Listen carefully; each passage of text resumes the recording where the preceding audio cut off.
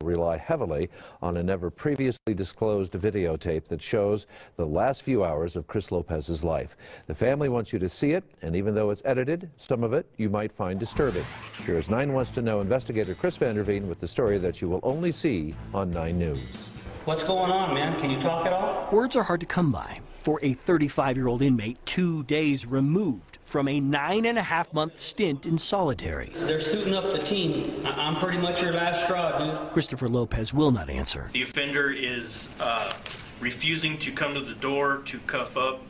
He uh, is exhibiting some uh, inability, maybe possible medical conditions. Colorado Department of Corrections Administrative Regulation 300 56 requires staff to record something DOC calls special controls.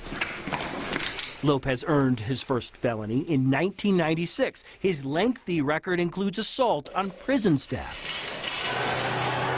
Yet there remains another side to Lopez. Coincidence did not bring him to San Carlos Correctional Facility. A mental illness did. The state houses a couple hundred mentally ill inmates here at any given time. Lopez, according to his family, has schizophrenia. Stripped down, wearing a spit mask and in a restraint chair, Lopez sits in a new room, the prison's intake area. Staff brought him here so they could watch him from a nearby room, but for some reason at 5:38 a.m.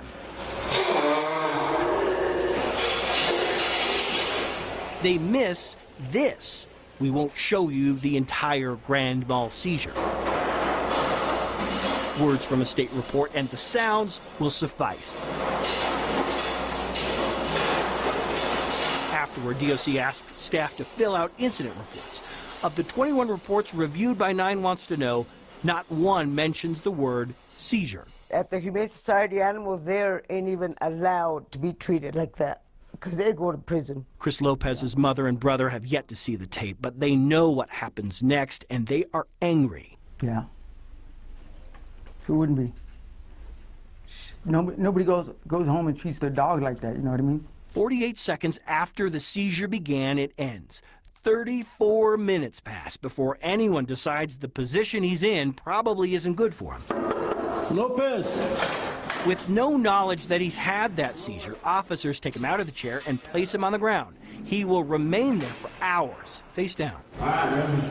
Holler if anything changes. Here.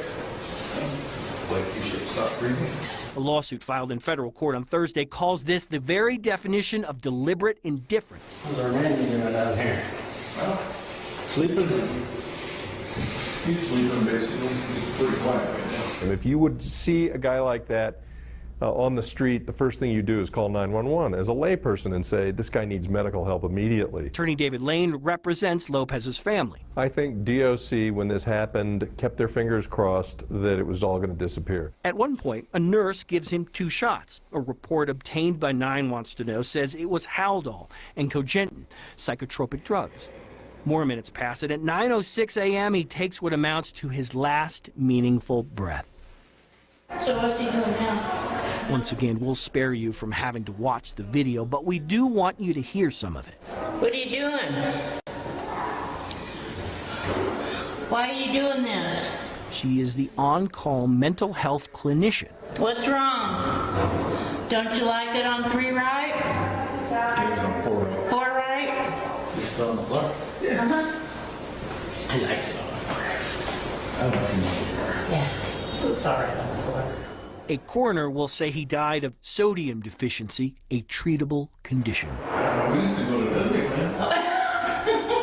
Don't drive your car into Disneyland. 16 minutes after that last meaningful breath, staff decide special controls is over. They go in, take him out, and at 9:24 a.m., See the pulse? reality finally arrives. We need to check this guy's pulse. How could you be so heartless to let another human being just die and not help him? The family wants more answers. This week, for the first time, the Department of Corrections publicly stated it fired three medical staff members and disciplined five other officers. Does anybody know what happened? Just found him down? By the time staff tries CPR and calls for paramedics, it's too late.